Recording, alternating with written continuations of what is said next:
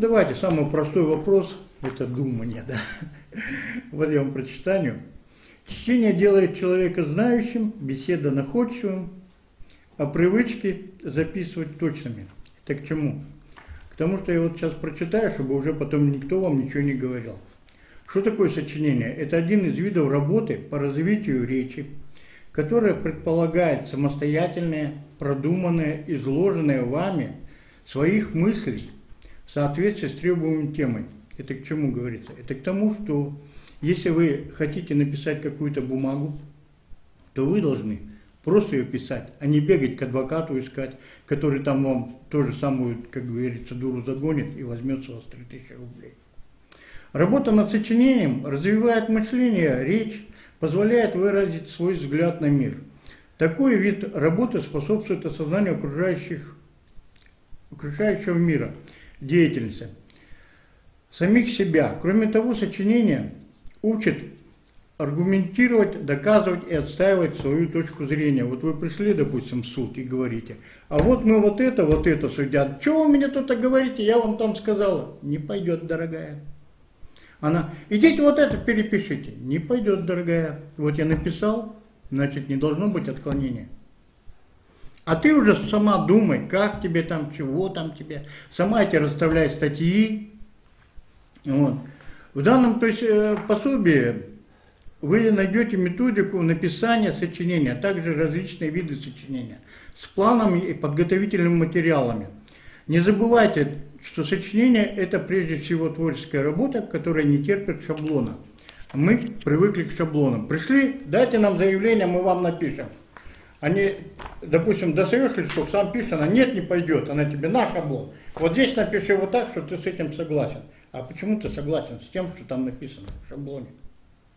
То есть ты должен брать листок А4 и сам или бумажку это, тетради вырвал, и сам произвольно в своей форме написал, как ты видишь а не так, как они тебе шаблон дают.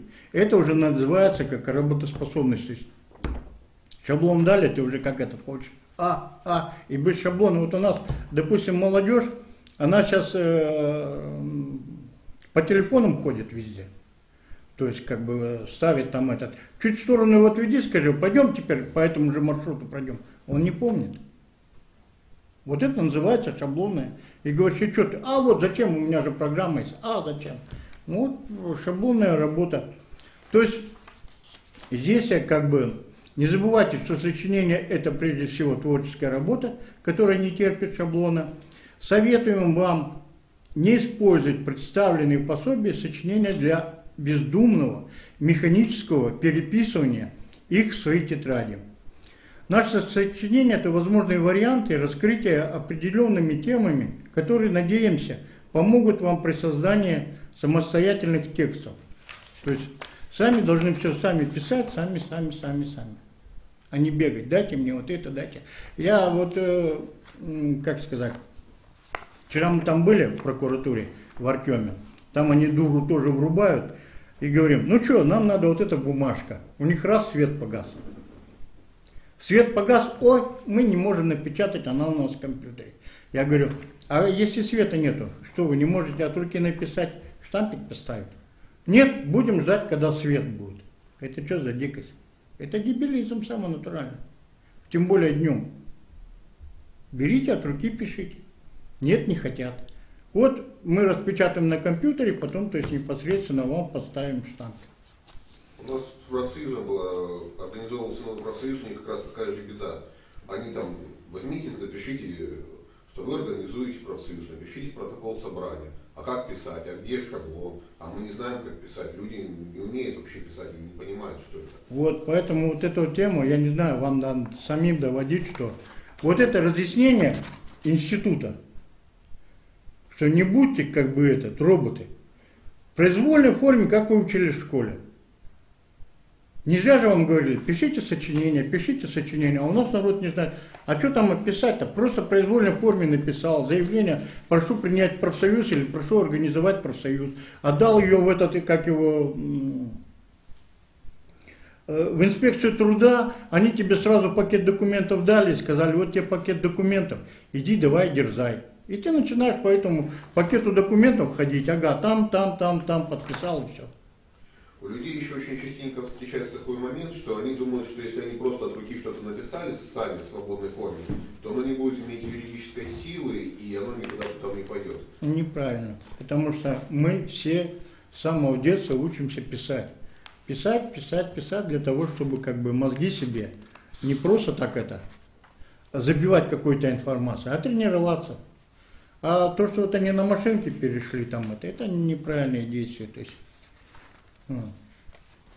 ну и здесь, короче говоря, вот единственное, что плохо, я вот надо кого-нибудь сюда садить, чтобы кто-то читал. А давайте мы этот документ потом просто к записи да? приложим, и все могут почитать. Да, вот вы вот это возьмите.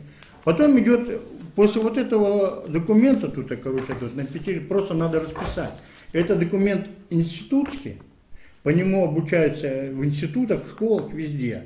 То есть и ни одна судья, ни один адвокат, ни одна прокурорша вам тыкнуть не имеет права о том, что вот у вас тут безграмотность, вот у вас это, вот это. Она не имеет права, потому что вы берете обыкновенную ручку и пишете. Не так, как вот это два мужика пять лет уже ходят по этой администрации, и там клоунаду устраивают. Не надо эту клоунаду устраивать, надо конкретно. Второе, то есть непосредственно шаблон, это э, понятие. Сколько всего федеральных законов, чтобы вы знали. Всего федеральных законов у нас 5350. Кто их будет знать? И каждый день они меняются с этими депутатами. Но они не меняются. Там единственное, что наши законы добавляются иностранные слова. Они там где-то во Франции ляпнули, там то-то, то-то. Вот. И в законах, то есть непосредственно, ничего нового нету. Эти все законы старые, нового нет ничего. Поэтому то, что если раньше была управляющая компания, если помните, там этот, э, э забыл фильм, как называется, когда там управдом ходил. Вот. Потом этого управдома после, после войны сместили, стали давать ордера, вот, а до этого были договора, потом стали давать ордера, сейчас развал государства произошел, и опять мы вернулись к этим же управдомам, э, к этим, то есть непосредственно договорам, вот, и администрация хитро поступает, она, то есть люди, у кого есть, э, как они называются, ордера Советского Союза, они приходят, допустим, э, говорят, нам надо вот тут прописать человека. А им говорят, идите гуляйте, делайте с нами договор соцнайма.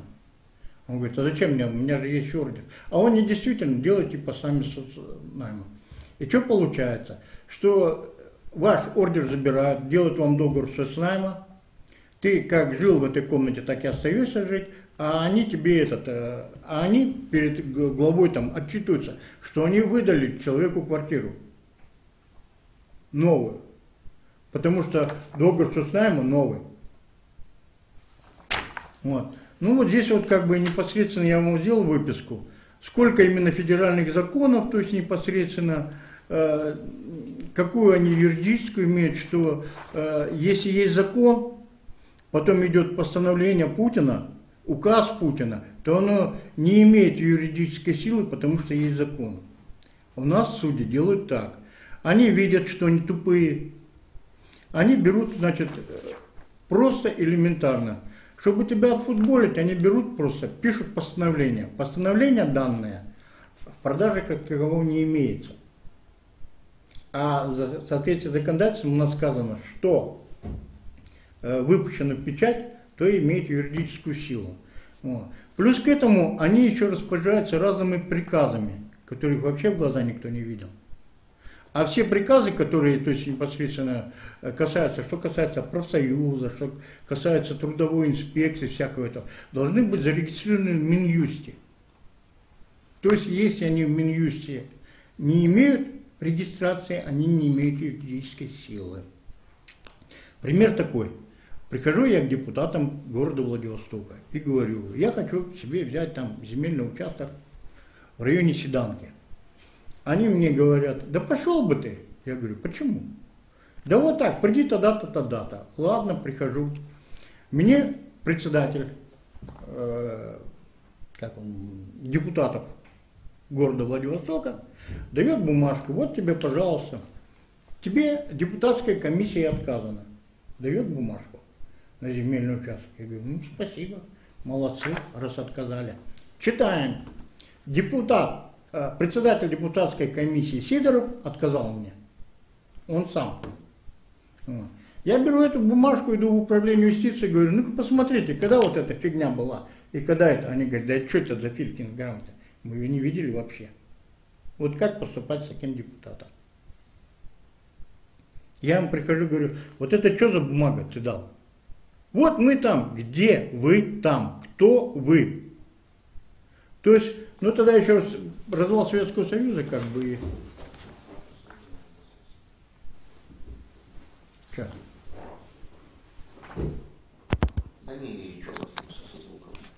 То есть, э, как бы его можно было привлечь, там пожаловались, и его администрация привлекла. Вот. Вы лучше задавайте вопросы, я вам отвечу, да и все. А это все потом приложите, прочитаете, посмотрите. Хотя, конечно, надо было бы зачитать. Тут сразу идет, э, я почему вот этих три бумажки вам принес. То есть непосредственно одна бумага разъясняет, как писать бумаги в произвольной форме, вторая разъясняет, что такое значит, законодательные штуковины, что такое кодекс и прочее. Вот. И, и третья бумага, это которая то есть, определяет, что такое клевета, что такое то есть, оскорбление, ну, как бы, чтобы вы при написании там многое не писали такого, что вот вы там сволочи, там прочее, прочее. Конкретно, коротко и ясно. Вы, товарищи негодяи, неправильно поступили, прошу вас это. И они вам должны давать ответы. Но так как они у нас, как они у нас, я не знаю, на ответы прямо не отвечают, стараются косвенно уходить, то... Ну это, я думаю, вы сами зачитаете, сами это, правильно? Да, документы. Да. Тут как... Записи, не проблема. Давайте тогда по вопросикам. Давайте по вопросикам. По профсоюзам Давайте по профсоюзам. Первый вопрос, да, вот у нас есть много новых предприятий, где не осталось э, профсоюзов советских времен, и они без профсоюзов живут. Насколько это вот, с точки зрения закона действенно? Особенно волнует э, те предприятия, которые работают по квартовым методам. Вот у нас на Зойском стройке нет по квартовым методам. Там нет профсоюзов, там несколько тысяч сотрудников. Там само предприятие должно быть организовано, то есть непосредственно этот профсоюзный отдел. Вот. Если его нету, надо написать, значит, от этого предприятия в жилинспекцию, не в жилинспекцию, в трудовую инспекцию. Пускай, от или от коллектива? От коллектива можете. Вот, пускай, то есть непосредственно они этот, э, подготовят пакет документов, вы там выберете в своем коллективе, кого вы там хотите, при, он приезжает сюда и оформляет документы все как бы как полагается. Вот. Предприятие, что, что такое профсоюз? Профсоюз это бандиты. Чем они отличаются от директора?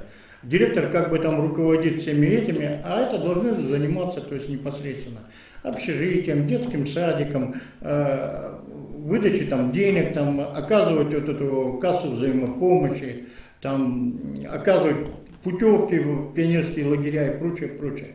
Это все профсоюзная работа, и он как бы должен э, ходить, гонять. Если ему надо будет подать, когда будущий они коллектив создадут, подать жалобу в суд, он должен коллективно от профсоюза подавать. И когда там 40 подписей стоит, что директор болван, и надо к нему принять меры, то судья не может идти на поводу директора. Потому что, то есть непосредственно ее можно привлечь к уголовной ответственности. Вот здесь, кстати, в пункте третьем я вот тоже указал, что если судьи неправильно выносят решение, они подлежат увольнению, штрафным санкциям и уголовной ответственности. Здесь все разъяснено. Как вот я говорю, что вот кто-нибудь почитал бы другое дело. А вы сказали, что 40 подписей профсоюза. А почему 40? Это конкретное число минимальное? Нет, это я, это я так обобщил. Вообще-то на предприятии профсоюз создается когда? В самом предприятии 30 человек. То есть минимум 30 человек да, профсоюз. Да, тогда создается профсоюз. После чего, то есть непосредственно начинается работа профсоюза. Профсоюз отвечает ну, за все. Он как бы помощник директора, потому что в соответствии с трудовым законодательством он заключает с директором договор. статья 373, там, по-моему, Трудового кодекса, в которой, то есть непосредственно он ему подчиняется, но он должен не только подчиняться, он должен еще и как бы бурагозить там, как бы выступать, я говорю, что так не пойдет. А сколько примерно из работников должны быть в профсоюзе? Потому что мы знаем, что частенько на предприятии большой аппарат управления, там бухгалтерия, директор, зам, которые в профсоюз не пойдут, и, соответственно, полного состава работников профсоюза никогда не будет. Дело в том, что в профсоюз желательно выбирать, то есть непосредственно рядовой состав. Потому что все начальники, они прутся в профсоюз, чтобы там дальше управлять вами. Вот. Рядовой состав, там сколько вы наберете, в зависимости от профсоюза. Люди почему вступают в профсоюз? Потому что они видят в нем поддержку. А если они не видят в нем поддержку, что, просто так деньги вам платить? Смысл платить? Я за этот год, допустим, потратил на профсоюз 500 рублей. Я также могу пойти себе купить шоколадку и сам себя поздравить. Профсоюз должен организовывать, то есть праздник какой-то, ага, профсоюзники там организовали. Это, значит, грамоты выдали, это. А взять, допустим, дальзавод, там мертвая организация. Грамоты они не выдают, там спортивный какой-то там комплекс, это. Я им говорю, а что вы? А, извини, как бы мы ничего не можем, мы вот это, вот это, вот это, вот это. Что касается денег, значит, э, вот э, далеко ходить не будем, вот возьмем одну контору, будем ее долбить, вот дальзавод. А, они оплачивают деньги медицинская страховка. То есть э, ежегодно, допустим, они платят по 3 миллиона. Ну, чтобы людей там их не осмотрели, там, освидетельствование провели. Вот.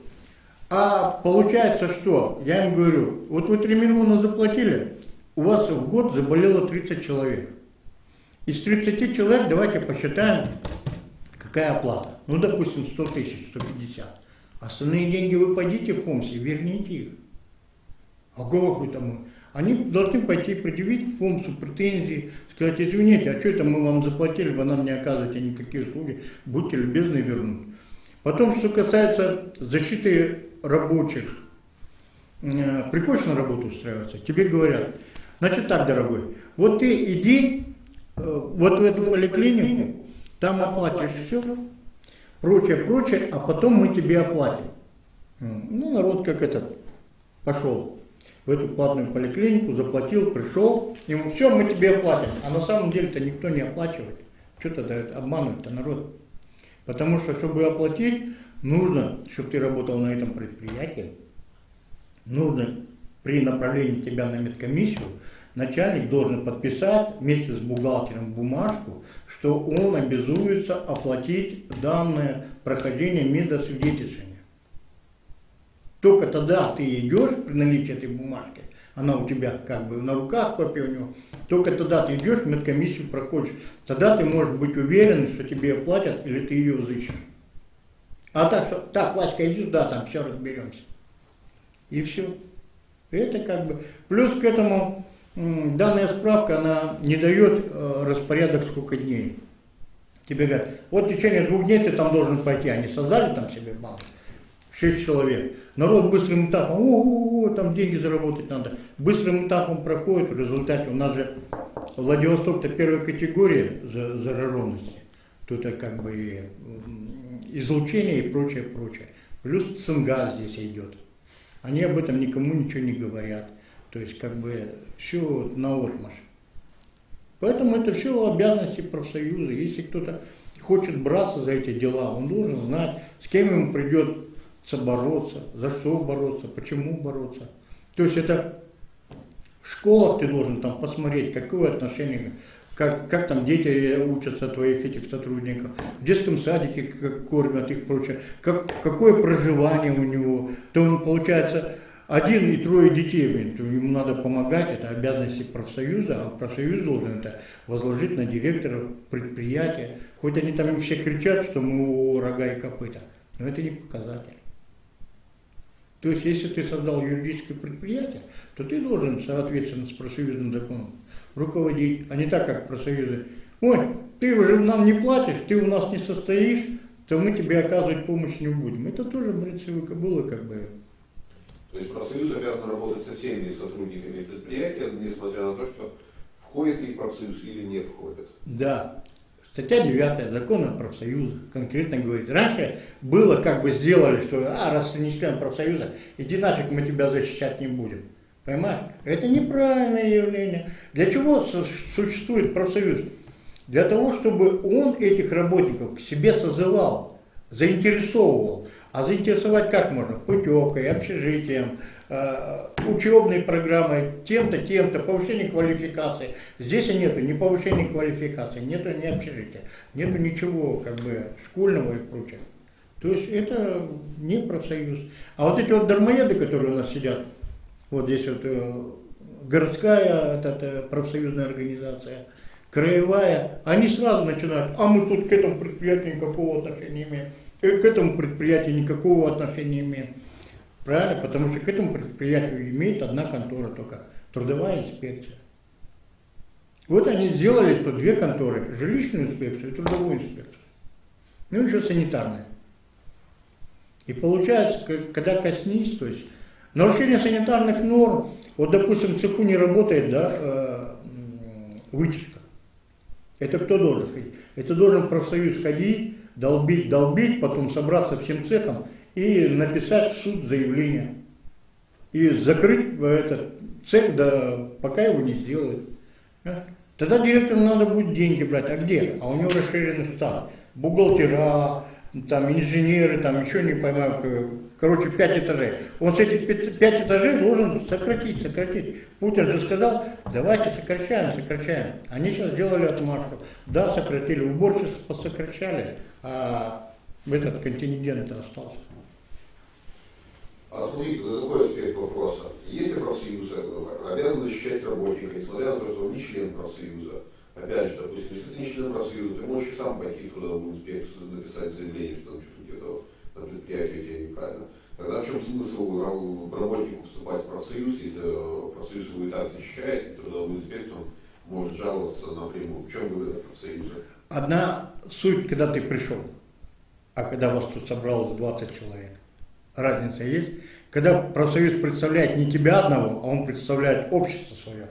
Понимаешь? И он этим обществом задает вопрос. Я, как председатель профсоюза, хочу знать, или я, как член профсоюза на собрании комитета, мы решили, постановили. И тогда они не плюнут против общества.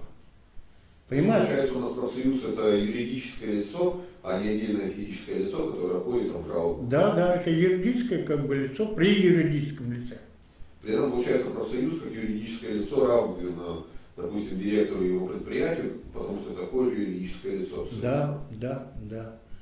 Да, это и есть юридическое лицо, но подчиненное тому предприятию, в котором он, тому предприятию, в котором они а, работают, то есть в котором он работает. И вот он создает эту ячейку, непосредственно ячейку, и начинает. А когда ты вот один приходишь, с тобой разговаривать, да пошел ты, кто такой?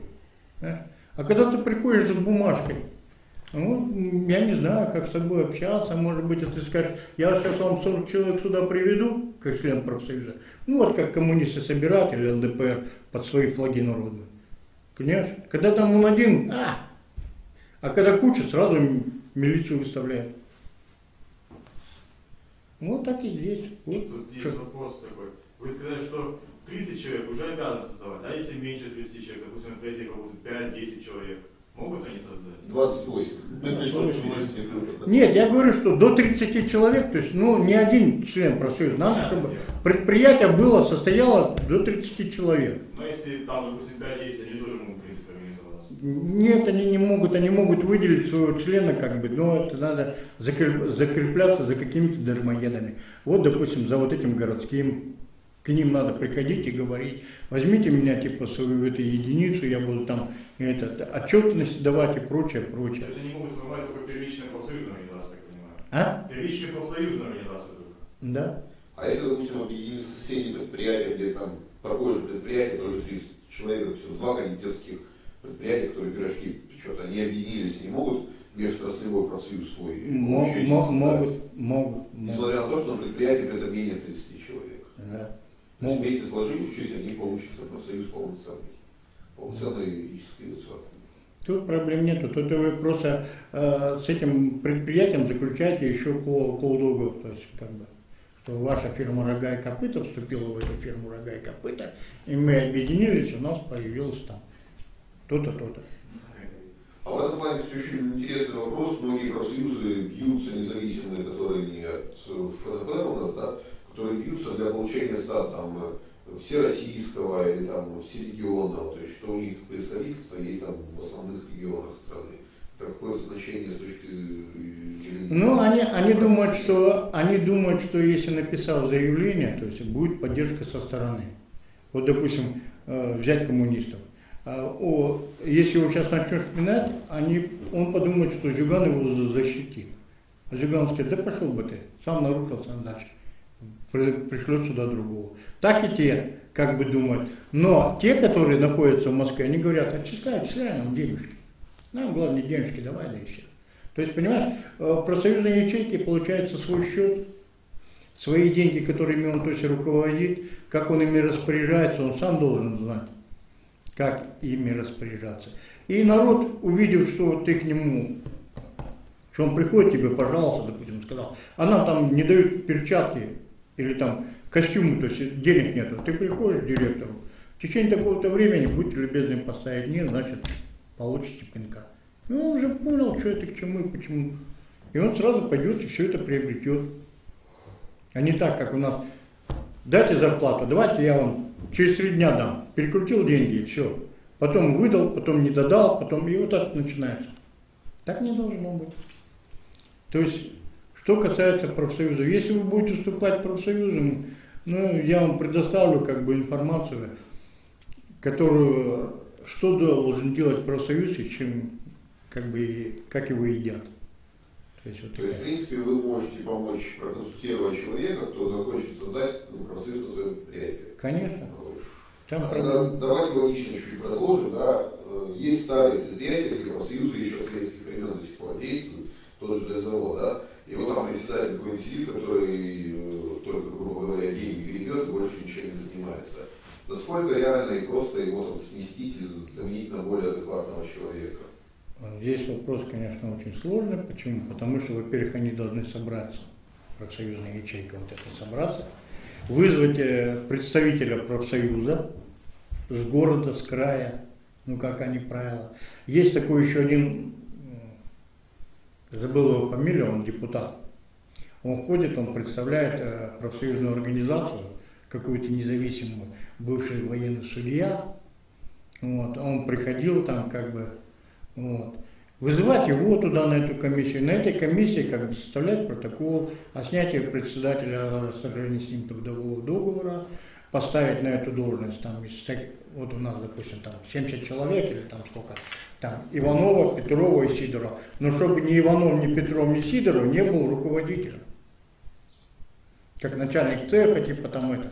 Знаете. Нужен человек, который вот был из рабочей системы, которая можно прийти и сказать, вот вам заявление разберите. Они каждую неделю там должны собираться, допустим, и говорить, вот это не так, вот это не так, вот это не так. Они так, что они на лопату закрыли и вышли. И тогда вы можете сменить председателя, то есть непосредственно, можете состав поменять, бухгалтерский состав поменять, то есть непосредственно, и работать, совсем по-другому работа будет.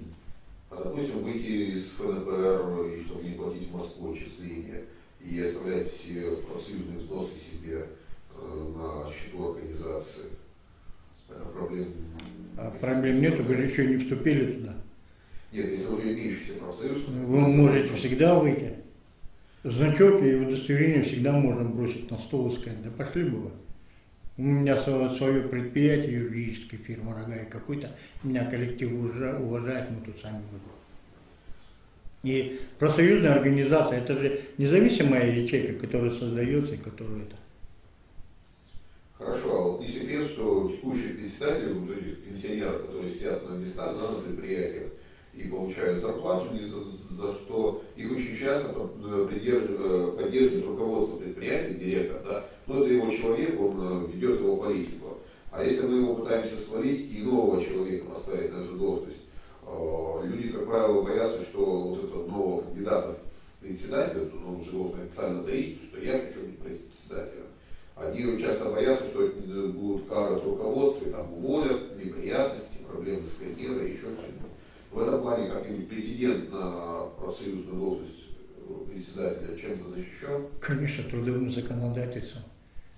Трудовым законодательством ты можешь поменять и профсоюзным законом, ты можешь поменять полностью весь профсоюз, начиная с председателя, зама, всех этих бухгалтеров, бухгалтеров, всех это, и поставить новый контингент молодой.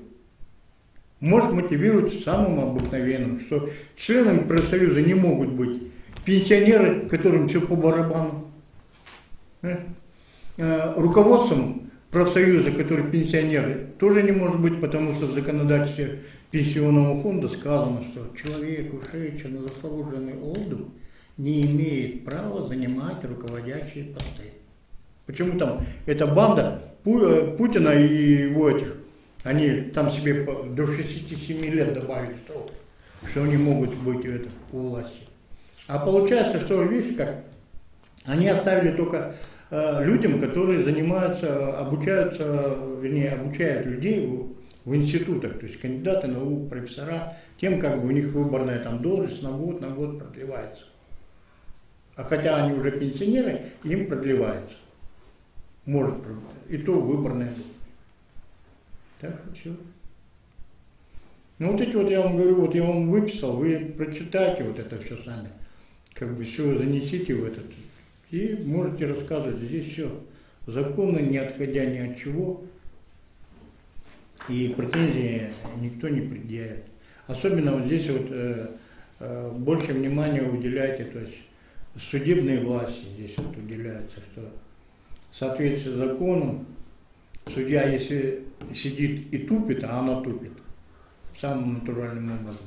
Потому что по закону, я еще раз повторю, что статья 14 э, Гражданского кодекса, Гражданского процессуального кодекса, статья 15 а, Арбитражного процессуального кодекса, если мне память не изменяет, то есть она предусматривает в федеральных судах двух присяжных заседателей. Судьи не хотят присяжных заседателей, потому что будет, вот здесь, кстати, и описано право выбора судьи, так, э, как бы, судьи не хотят, потому что им невыгодно. Или она одна, что хочу, то ворочу, или ее поставят и скажут, ты что, мы с этим не согласны.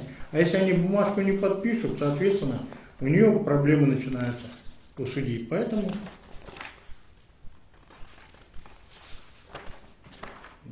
ну, документы мы прикрепим, хорошо. Да. А еще такой вопрос. Вы, в принципе, сказали, что профсоюз в том числе должен награждать там грамотами, следить за этим делом. Многие, как правило, молодые люди на это внимание не обращают, но те, которым как раз предстоит пенсия, там возникает вопрос, ты пока работал, у тебя там нет ни одной грамоты, ни одной награды от предприятия, соответственно, ты не можешь ни на ветерана, ни на что рассчитывать, и, соответственно, на повышенную пенсию не можешь рассчитывать. Поэтому зачастую мы знаем, руководители предприятия награждают такими ну, грамотами там, своих секретарей водителей, а обычные работяги, которые отпахали там 40 лет на предприятии, они в итоге остаются ни с чем.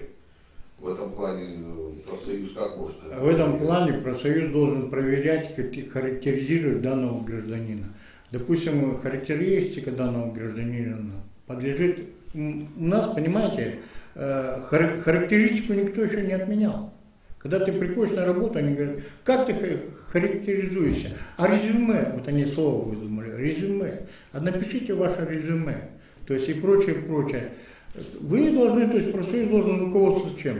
Получал ли он премиальный, получал ли это. На праздники, допустим, вот э, какие там праздники, там, День Конституции, День милиции, там, День военкомата, там, разные. То есть пришел ему раз, вручил, вот тебе грамота, там, как ты вот такой-то, вот. А люди собирают, собирают, это же память. И в нужный момент, как бы, внутренними вот этими регламентами можно, как бы, предоставить даже ту самую характеристику. Я был всегда хороший, а тут пошел, на меня напали, я морду дал, и меня судят. Тогда ты сразу говоришь, вот видите, я был поощрен по труду, вот я был это, вот я был это. Сейчас эта практика практикуется в тюрьме. Значит, там а, люди, которые попали в тюрьму, ну там 10-15 лет, там 7 лет, это, они стараются заработать баллы, а именно вот, вот этими бумажками поощрения, типа грамоту, что я там за год ни разу не наказан был, за два, то есть нет. И на основании этого они потом пишут заявление в суд и просят им срок сбавить, так как они типа перевоспитались, и как бы это, и там уже на усмотрение судьи. Понимаете, то есть хочу делать, так и здесь, то есть характеристика нужна непосредственно. Даже вот раньше практиковалась эта фигня в ГАИ, когда люди по пьянке попадали, чтобы им срок сократить, они брали характеристику, что на предприятии они не пьют там и прочее, прочее, что они такие хорошие, идеальные, им срок сокращают. То есть ничего такого страшного. Поэтому если люди собирают бумаги, если есть какая-то возможность собирать, ну, пускай собирают. То есть профсоюз, получается, имеет возможность поощрять людей, более того, он может им, там, допустим, тоже ветеранское выбить, то есть он не только, так сказать, собирает взносы и следит за исполнением, но он может еще и человеку сделать очень много полезного. Он Тоже ветеранское много льгот дает всяких. Он не может, это его прямая обязанность. Должен. Да. Он не может, он должен и обязан. То есть брать трудовое законодательство, приходить и говорить, Мария Ивановна, Ванька болеет, ему нужно отправить на комиссию, получить там, допустим, этот э, как называется, листок нетрудоспособности. Давайте его это. Собираем бумаги, отправляем в пенсионный фонд, и пенсионный фонд начинает уже с ним работать. Это прямая обязанность профсоюза. А вообще-то совместно с отделкадром. Отдел кадров у нас это не делает, чисто тупит, уклоняется от этого. Юристы, которые у него есть, там я тоже, если я сам открою, они тоже это не советуют. Это прямая обязанность профсоюза толкать то есть непосредственно на предприятии вот эти все кадры, бухгалтерию, там, медицину, там, кто там у них есть, чтобы они, то есть работали с людьми. И когда народ увидит, что ты к нему хорошо, соответственно, они будут приходить платить взносы, соответственно, они будут, у тебя будет появляться инстинкт работы, а не так, что вот пришел, повернулся, ушел. О поощрении поговорили, можно теперь вернуться к наказаниям. Ну, зачастую там сотрудник опоздал на работу, ему там наказание, там, э, прогулял, напился, еще что-нибудь. Вот этот список наказаний, оно собирается в личное дело, складывается. А профсоюз со своей точки зрения может их там гасить, отменять, возвращать, чтобы в личном деле всех этих самых вещей не оставлялось. Конечно, это обязанность профсоюза. То есть, если непосредственно начальник цеха написал, что ты балбес, то ты должен понять, почему ты балбес. То есть, Люди приходят, профсоюз вызывают и говорят, там, как у вас Ванька работает? Да нормально, а как вот это, да это? А ты что вот начальник? Да он дурак, что ты с ним это? Все ясно. И от этого начинаешь плясать, соответственно, говоришь, извините, мы тут посовещались и решили, что вы неправильно сделали это э, наказание, э, то есть дисциплине. Поэтому отменяйте. Поэтому здесь вот тоже вот есть такая фигня, которую я вам сказал. Я говорю просто вот, если кто-нибудь читал, здесь вот тоже вот есть, что такое, то есть начальник, если начальник клевещет на тебя, оскорбляет тебя, если начальник тут, ну, много такое, не просто начальник, а вот как бы это. То есть ты можешь, это, все профсоюзные дела. У директора одно, где, чего, и как это все произвести. Экономиста совсем другие понятия. У юриста другие понятия, у бухгалтера третье понятие, понимаешь? А профсоюз занимается общей деятельностью сотрудников. И это должно входить в его обязанности конкретно, а не так, что а, пришел в кабинете, посидел, плюнул на человека. Поэтому... Вопросик, а вот если, да, вот наказали, выговор работникам сделали, пришли профсоюз, а они как бы отказываются помочь. Значит, про... Значит, тогда вопрос, почему профсоюз отказывает. Пускай они напишут, они должны написать, почему не отказывают. Все выговоры, они меня, э, если мне память не изменяет, э, в течение трех месяцев или полгода они этот, э, аннулируются. То есть идут в унитаз. А, ну вот они напишут профсоюз, почему отказывается помочь, и куда с этим? Нет, так профсоюз должен. Вы тогда можете подать жалобу в суд, на профсоюз и сказать, а почему вы типа вот, вот это, вот это. То есть у вас есть две конторы, профсоюз и суд. Если профсоюз вам не оказывает помощь, то вы непосредственно обращаетесь в суд на профсоюз. Почему не, не оказывают? А те должны провести аргументы. Если вас, допустим, уволили с работы, то в суде должны быть два человека. Представитель профсоюза и юрист их. И на вашем заявлении должно быть написано согласовано, юрист такой-то, профсоюз такой-то. И вам должны дать они аргументы. Почему согласовано, почему они считают, что вы нарушили то-то, то-то. А если нет подписи юриста, значит эта бумажка должна идти в туалет. Потому что сам по себе директор по закону не имеет права увольнять, там, выгонять. Или... То, что они там фильмы насмотрелись, я там сказал, я, это все бред сивой кобылы. А трудовая инспекция здесь имеет рычаги влияния на профсоюз? Ну, можно, например, идти не в суд э, с жалобой на профсоюз, а в трудовую инспекцию. Нет, только в суд обжаловать. Или вышестоящую организацию. Вот какая у нас вот профсоюзная, вот эта вот организация, которая подведомственна, вот, или в суд. Ну, можете, если вы чем-то не согласны, да, вы просто пишете заявление, я обычно делал раньше так, пишу заявление в профсоюз и пишу заявление в трудовую инспекцию. И смотрю, кто из них работает. Как правило, профсоюз не работает, трудовая инспекция там дуру гонят, гонят, но она дает ответ, в результате эту бумагу в суд футболишь, и тогда они там все получают по башке. Что неправомерные действия. Там же тоже Э, не все такие умные. Вот как у нас в адвокатуре работают бывшие сотрудники милиции. Чего он знает? Вот он, о, он же полковник, он там, о, подполковник. А что он знает? Он сидел где-то бумажку в адвокатуре писал. Еще. Ну, они пошли в адвокатуру. Хотя в 1955 году, до сих пор никто не отменил, запрещено принимать Э, в адвокатуру бывших следователей, сотрудников милиции, там, прокурорских работников, судей. То есть запрещено принимать. Но все закрылись, а все молчат, все прячутся.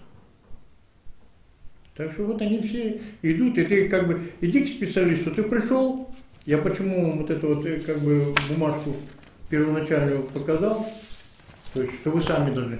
Ты пришел к нему, он на этом листке, ну вот столько написал, себя пять тысяч. Ты такой, а, как? Ну все, я же думал, сидел. Понимаешь? Я же думал, а что там думать-то? Взял произвольно, вот я тебе говорю, самое главное вот это вот довести, что, что произвольное писание, что ты сам должен думать и нафиг никого не слушать. Мы эксперименты ставили еще какие. Я, допустим, напишу бумагу безграмотную какую-нибудь, в суд за футболю, она мне приходит, это кто писал? Я говорю, ну я писал. А что? Она, иди к адвокату, пускай он все напишет. Я говорю, хорошо. Иду, то же самое. Вот. Ну, пару статей просто вбил. Прихожу, то же самое. Вот, вот, видишь, все, вот, молодец, типа, вот. Это что за идиотство? Я говорю, а где, каким нормативом? У нас вот есть, да мне начкать, что у вас есть. Нас в школе учили. Берешь листок и рисуешь. Что хочешь рисуешь. Почему я вот здесь и выделил вот это понятие, то есть непосредственно, как ты должен писать, само все произвольно. Здесь непосредственно, что такое законодательство, что такое постановление, что такое, то есть указы Путина, э, законы там, Э, эти приказы, которые непонятно кто там пишет, допустим, Минсоцразвития, свои приказы пишет, откуда ты их знаешь? Ты их нигде не видел, ты нигде их не читаешь. ФОМС при, это, приказы пишет, все пишут приказы, а? и потом судья, а вот согласно вот этого приказа ты вот, ты говоришь, подождите, какого приказа, где? А вот у нас постановление, какое постановление, где? Давайте рассмотрим. Самое простое, берем книжку, вот сейчас разъяснение было по жилищному законодательству. Верховный суд разъясняет. Там вот такая вот, ну, 7 страниц где-то. Он разъясняет. Тираж у нее одна тысяча на 200 миллионов человек. Кому эта книжка пойдет?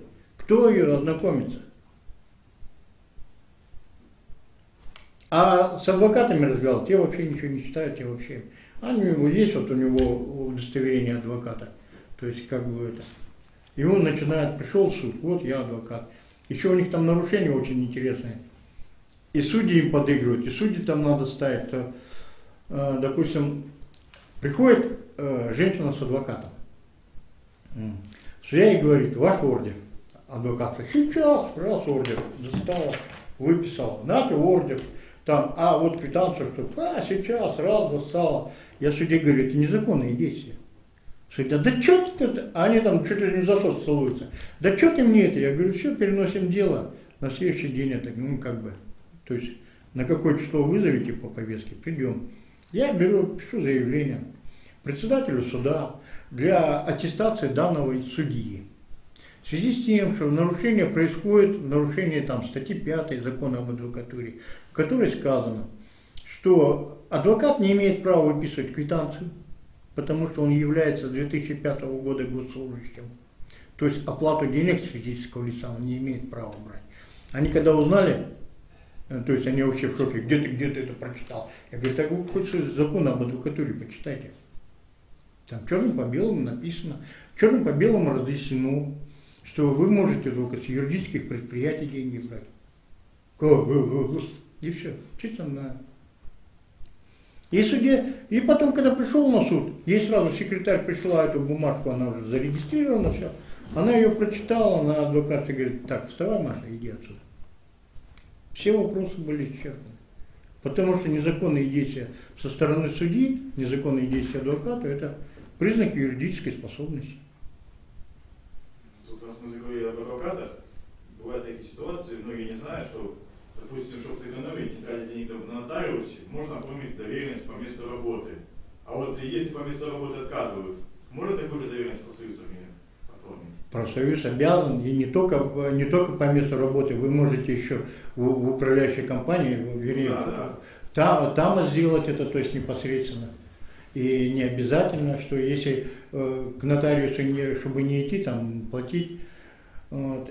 Есть хитрые нюансы. Допустим, профсоюз может защищать людей, э, которые взяли кредиты. Ну, обыкновенно. У нас же банки-то не имеют права деньги выдавать физическим лицам. Они имеют право выдавать только один банк, сельхо- Россельхозбанк.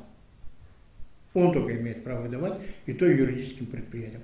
А остальные как бы являются мошенниками. Они людям выдают кредиты, а в законе там прописано, что если люди не отдали, ну что ты, ты даже в суд подать не можешь. А они подают суды, а суды, не рассматривая законодательство, берут как бы и выносят решение пользу банков. Хотя сами банки в суд не приходят, что является нарушением. Поэтому, если на тебя вынесли такой счет, то ты, чтобы наказать их, ты должен написать в вот здесь у нас, бумажку о том, что банк с себя незаконно взял бабки, прошу разобраться. Центробанк должен по вашему заявлению, если там два заявления будет, три, он должен лишить тот банк лицензии. Потому что мы законы не читаем. Я говорю, вот пять тысяч чем-то законов. Но если ты с кем-то связываешься, вот в моей практике было вот этот ГУЭС. Значит, э, оформили туда ребенка. Там у меня с Карифаном, короче говоря. Вот. У нее ребенок получился 5 лет.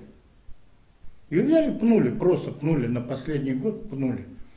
Ты говоришь, а как это так можно? Она на платной основе, прочее, прочее. Вот. Ну, понимаешь, вот пнули. Я говорю, ладно. Беру это, родителя этого, он мне дает нотариальную доверенность. Вот. Значит, э, беру его, едем в этот в институт, начинаем поднимать все вот эти действия. Я говорю, значит, вы определитесь, выдайте ребенку диплом, выдайте ребенку, то есть непосредственно это, и на этом мы рассчитались. Нет ничего подобного, у нас тут это. Я говорю, хорошо, обратимся в суд. Обращаемся в суд. Что делают судьи? А там приходят, значит, два адвоката, там пальцы веером это. Я говорю, в соответствии с законом, то есть первое среднее там и высшее образование, то есть на бесплатной основе. Вы взяли деньги, что является нарушением. Нет, мы не нарушили. Давайте посмотрим. Сколько у вас мест? У вас, допустим, тысяча мест. Из этих тысячи мест у вас может быть на бесплатной основе только 20 мест. вернее, на платной основе. Остальное все должно быть на бесплатной. А у вас что получается? А у вас наоборот, 80 на платной основе, а 20 на бесплатной. Кто это вам написал такое? Где это прописано? Каким нормативным актом? Судья мне говорит, выйди отсюда. Ну, мы выходим с ним. Она, там эти же остались, она им говорит, значит так, вы идиоты, с ним разберитесь быстро. Сделайте то, что это, если сейчас я вынесу решение против вас, она же за дверью, вот сейчас слышно. Если, говорит, я сейчас вынесу против вас, вас по судам затаскают. Это уголовное наказание. Вы что же делаете-то?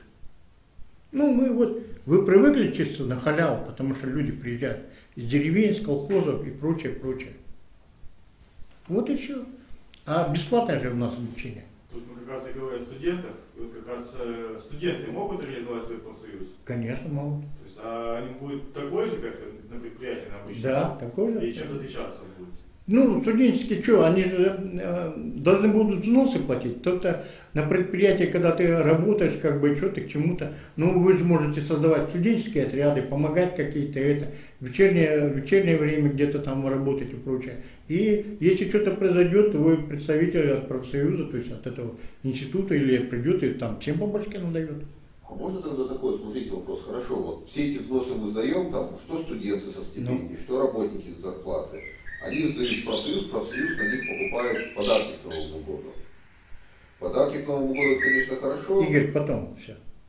Подарки к Новому году, это, конечно, хорошо, но, как вы сказали, я сам себе могу купить подарок. Да. А вот нанять юриста, который тебя будет адвоката защищать, сложно. А у профсоюза есть большой фонд, который собирается студентов, там, все студенческие, если с работы. Что понимаете под юридическим этим?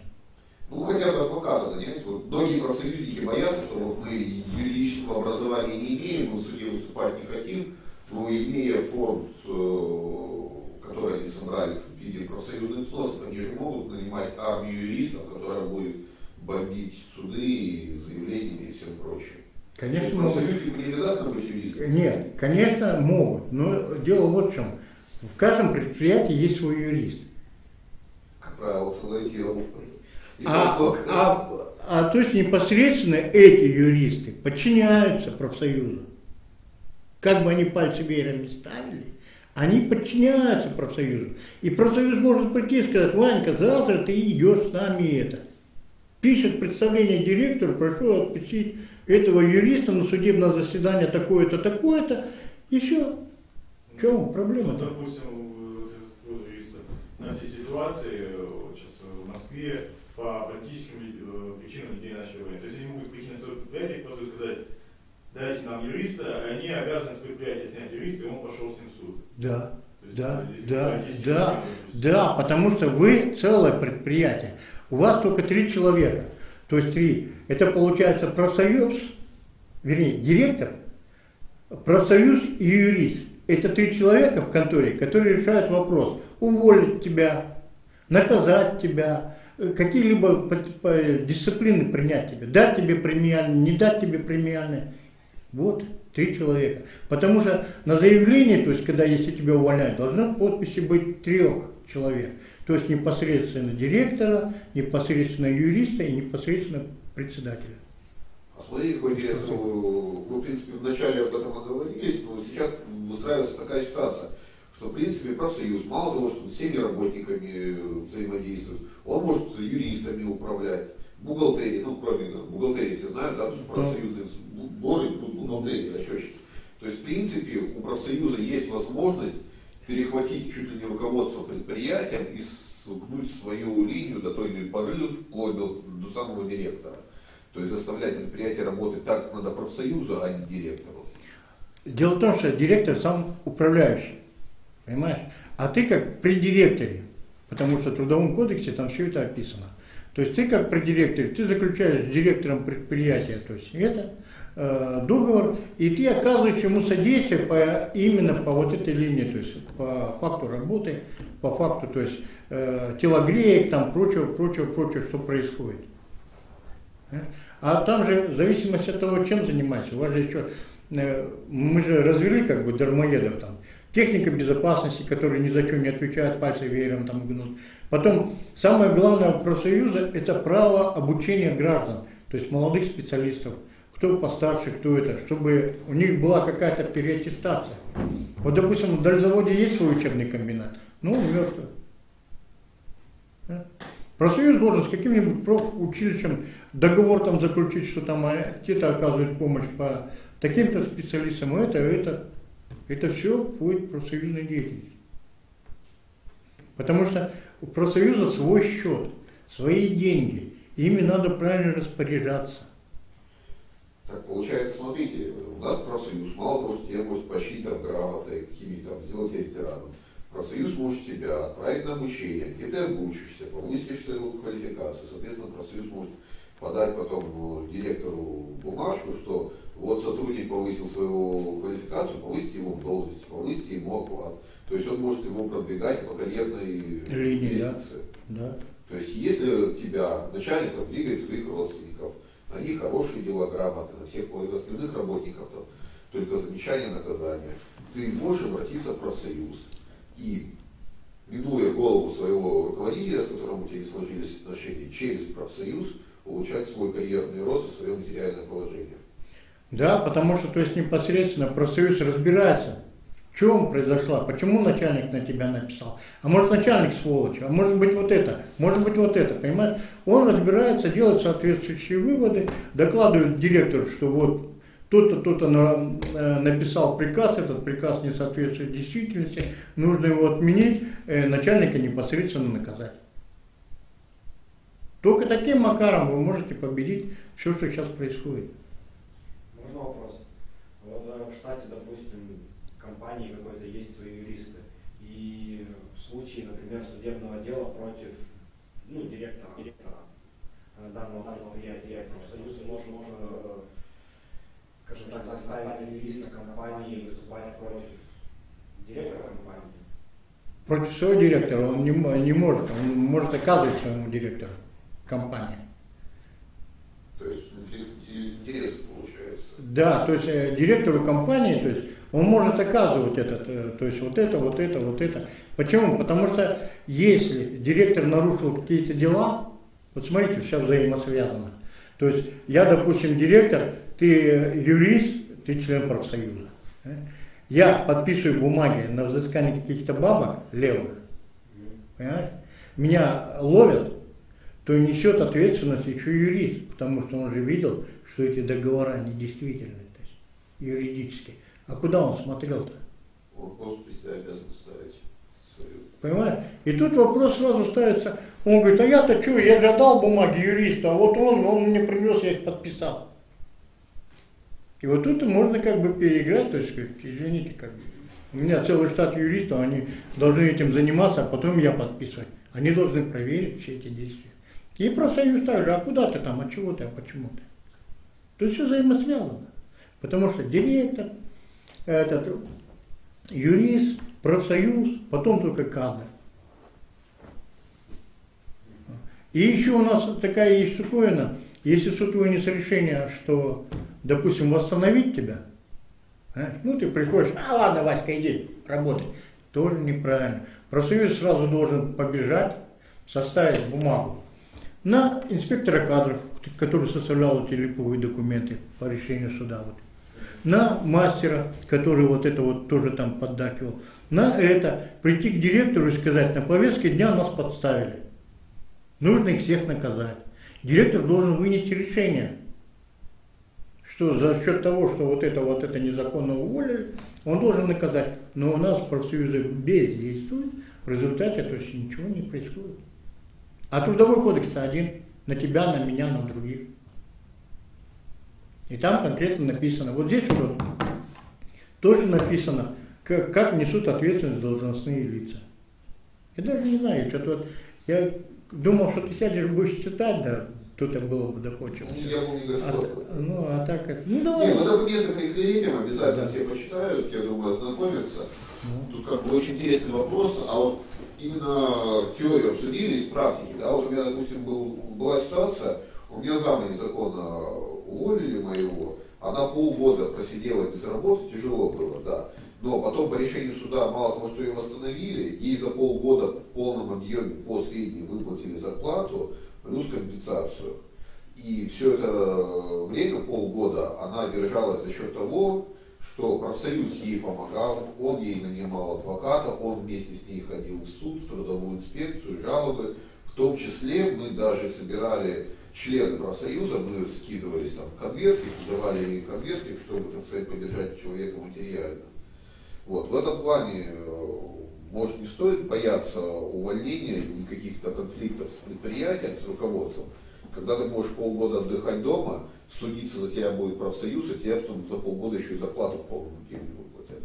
Конечно, не стоит бояться. В этом плане еще вы проиграли, ты знаешь в чем? После того, как я вот сейчас сказал, решение суда вышло в твою пользу, ну, твоего зама, да, надо было наказать тех людей, которые состряпали эти бумаги на твое увольнение. То есть это кадры, это там жалоба там мастера какого-либо там это. Надо было с них взыскать всю эту сумму.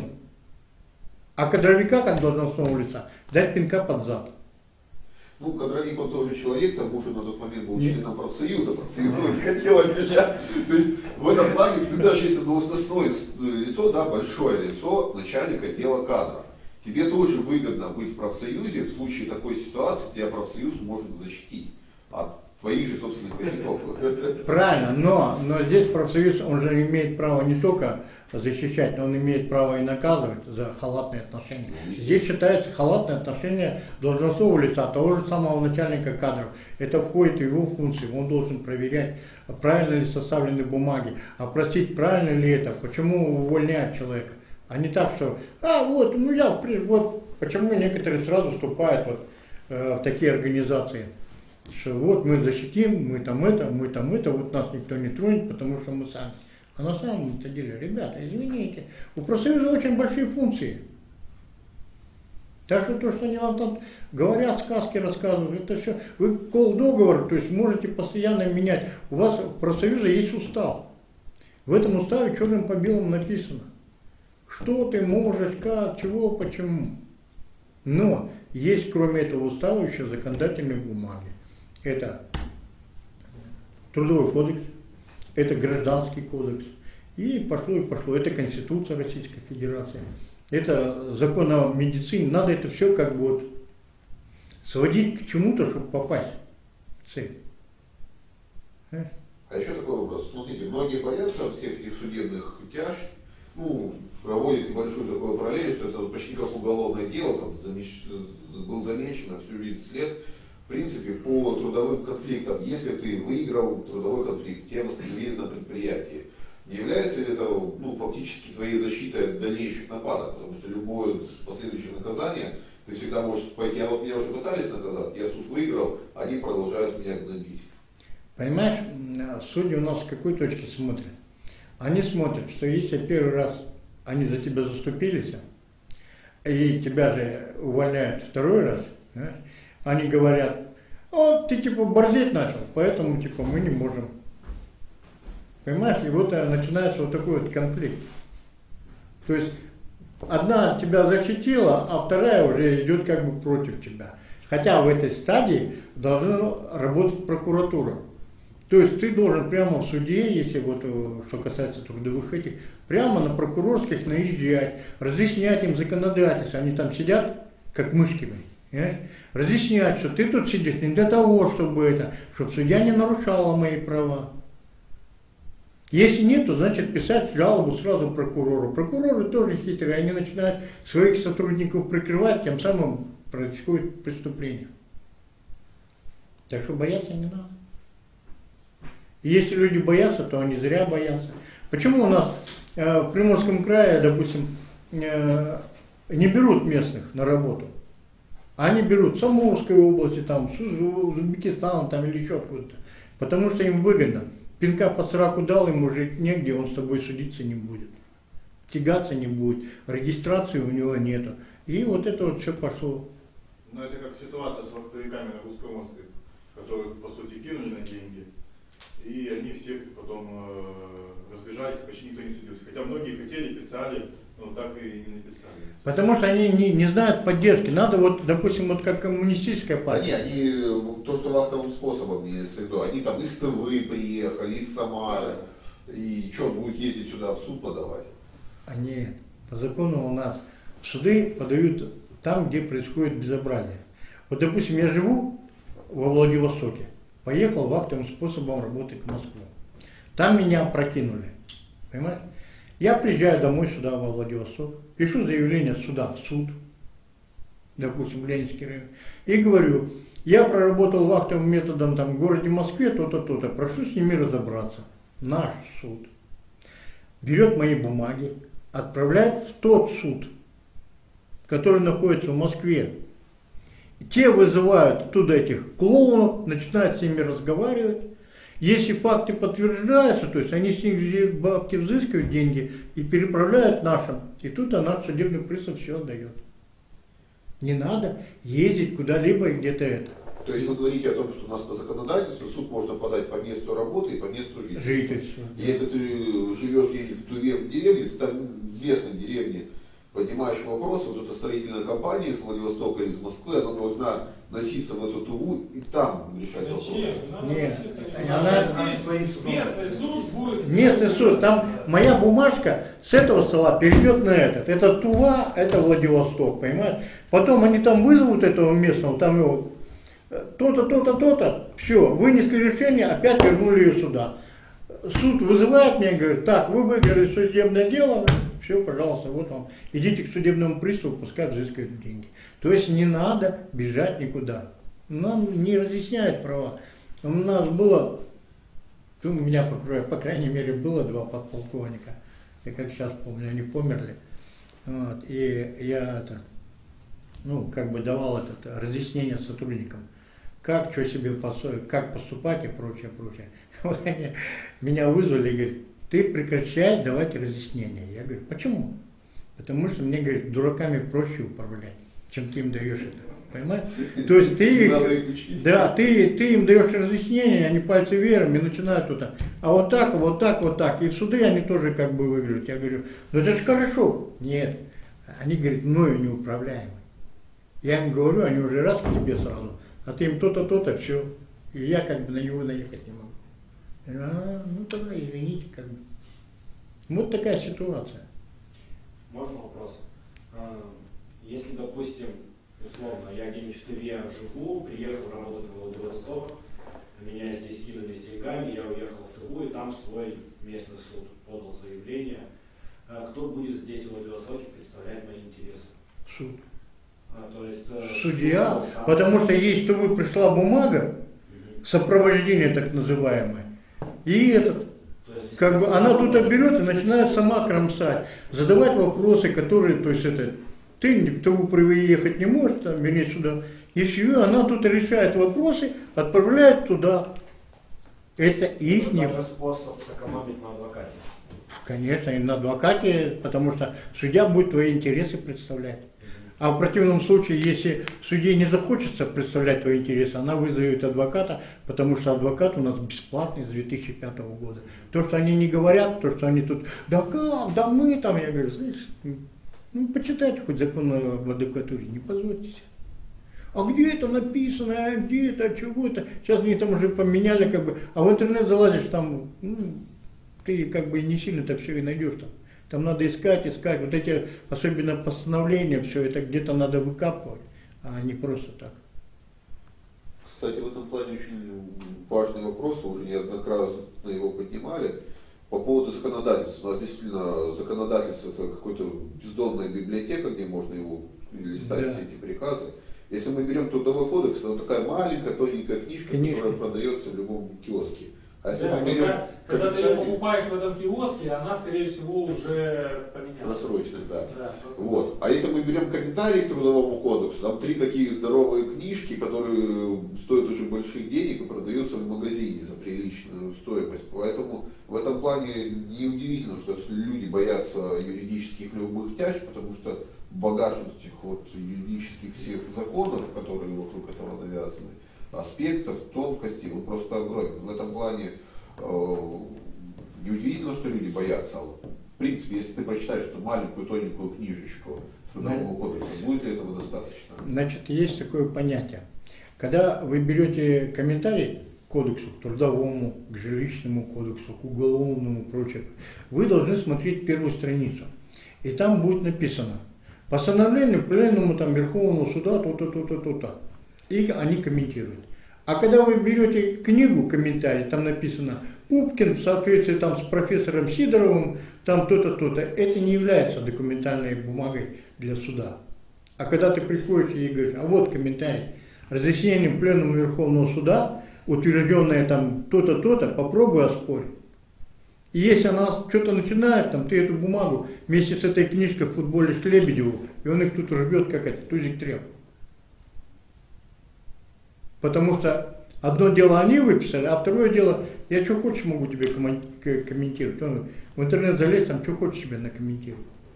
Вот. А вот это про эту книжку, которую ты сказал, это основная э, книга, которую ты приходишь и говоришь, вот написано вот так.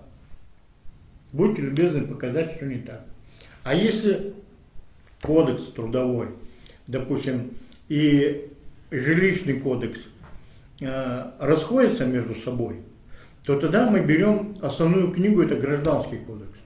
К чему я привожу? Допустим, предприятие тебе выделило квартиру, ну, общежитие.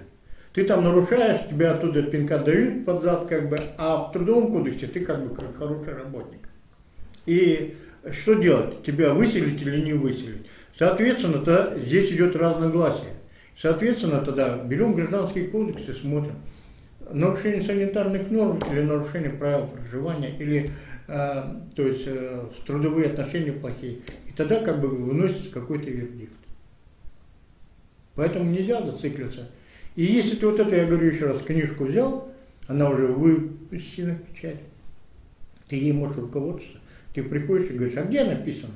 Покажите мне, где у вас это? Все, хватит ничего. Есть еще вопросы?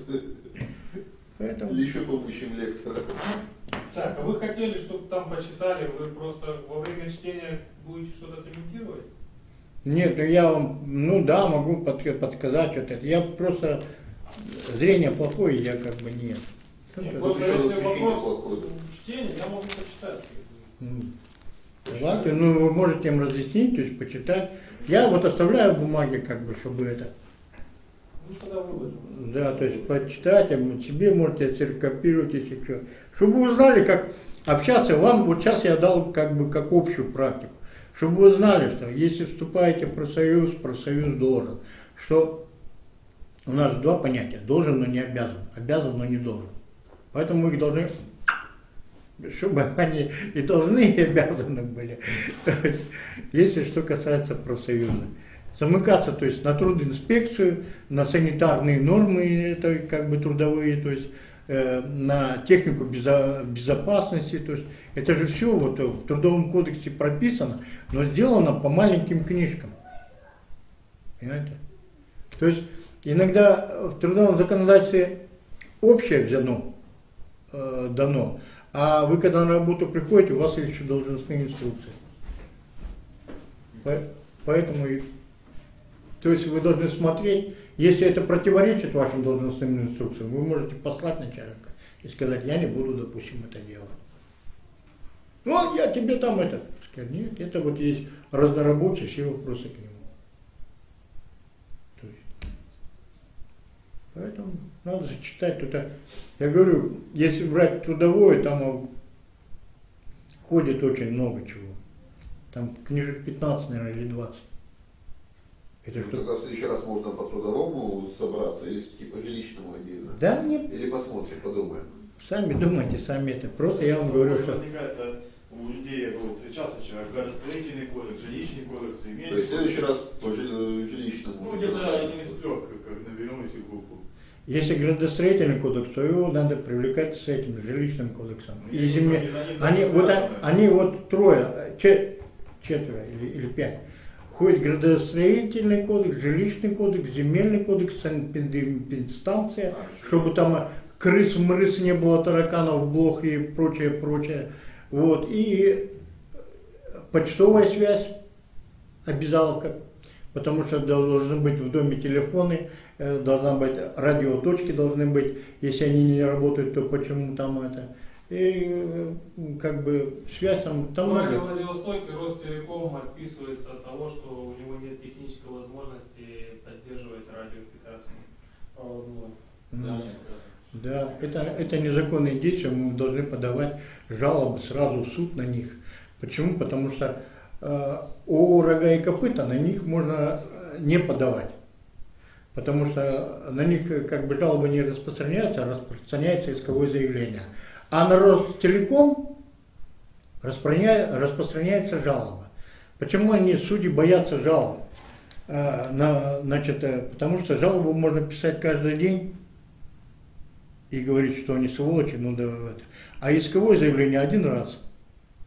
То есть ты написал, что Ростелеком сволочи, а им говорят, а, вот, то-то, то-то, мы не знаем как.